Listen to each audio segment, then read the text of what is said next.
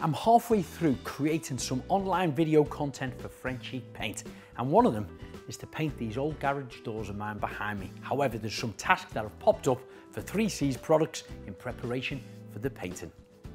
Now around the sides of the frame where it meets the brickwork, there are some small gaps where I'm going to fill using 3C's GP. It's a general purpose silicone. This will make them more airtight, weatherproof, as well as reducing any sound travelling through.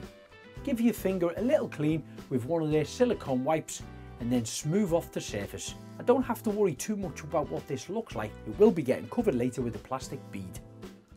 If you've got larger gaps like this side, you can always fill them first with an expanding foam, let that dry, and then it can be covered. Around the top and the two sides of the frame, I'm going to be covering them gaps with a plastic PVC bead. I've mitred the corners at 90 degrees I'm going to fix them down with a multi-use all-in-one adhesive sealant.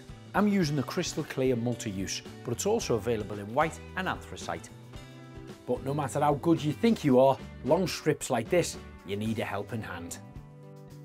Now the beads are fixed into position, I can crack on with the preparation on the rest of the woodwork. This needed a quick scrubbing off with some sugar soap dried it, sanded it to realise there's many old cracks in this door, bearing in mind it is about 23 years old.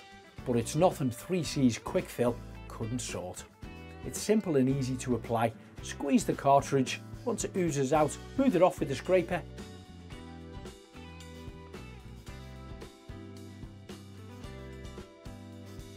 The fill fillers dry normally within one to two hours under normal conditions, then I give it a quick sanding down. Although quick fill is predominantly used indoors, if using it for outdoors, make sure it's dry and sealed with a weatherproof sealant before it's painted.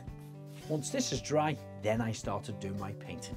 Now in their video, you see me apply the paint in three different methods, a paintbrush, a roller, and then the paint sprayer.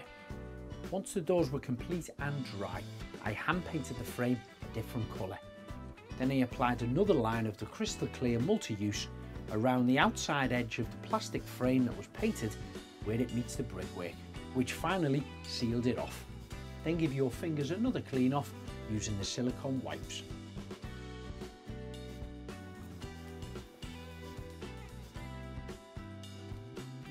So that's my wooden garage door and frame now complete. If you want to see the full step-by-step -step stage on how I prepared and painted this garage door, head over to Frenchic TV on YouTube.